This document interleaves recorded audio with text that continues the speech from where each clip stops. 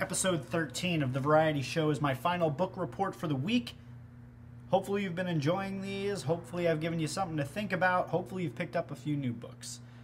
Today, From Poop to Gold. Have you ever seen the Squatty Potty commercial? Because that's what this book is kind of focused around. It's what the cover's about. It's that unicorn that's pooping rainbow sherbet. It's about the Harmon brothers, who are the agency behind such popular commercials such as uh, the Squatty Potty, Poo-Pourri, Fiber Fix, BedJet, and a bunch of others. They were an agency that got their start kind of by happenstance. They fell backwards into it by just making a really cool viral video for this Orabrush, uh, which you've probably seen uh, in the past. It was a doctor in a lab coat.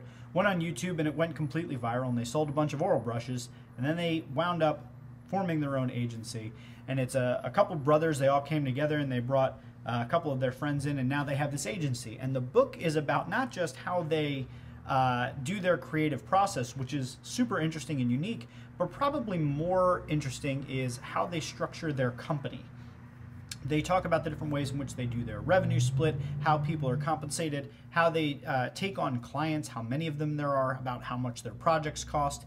And it's really interesting because if you look at the world of digital marketing these days, especially if you take search off of the table for a moment and you focus exclusively on the side that is content, it's more difficult now than ever to get noticed because there is so much content and people are competing not just with their direct competitors, but brands are competing with, you know, for instance, uh, brands are competing to reach me with my friends, with my wife, with other brands that I follow that have nothing to do with them and are not direct competitors, along with everybody else that wants to target me with an ad just because I'm a 38 year old male living in Philadelphia.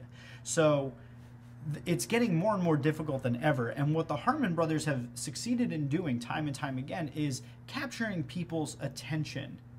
And that is such a difficult thing to do as we all mindlessly scroll through our smartphones looking at whatever content comes up on our Facebook, Reddit, Instagram, YouTube, or Twitter feeds.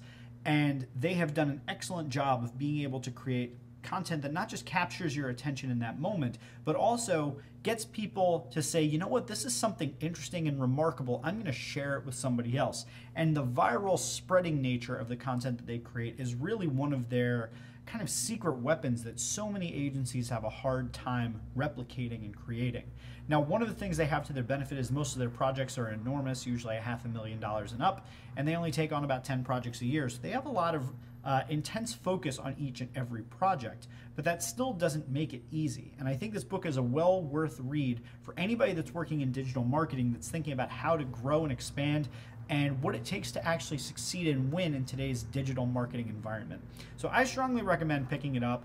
I believe you can just go to uh, frompooptogold.com. They have it on Amazon. Uh, I'll provide a link right below uh, so you can go and pick up a copy. I got it on pre-order. I have it in both uh, ebook and in paperback format, and I just think it's a great book.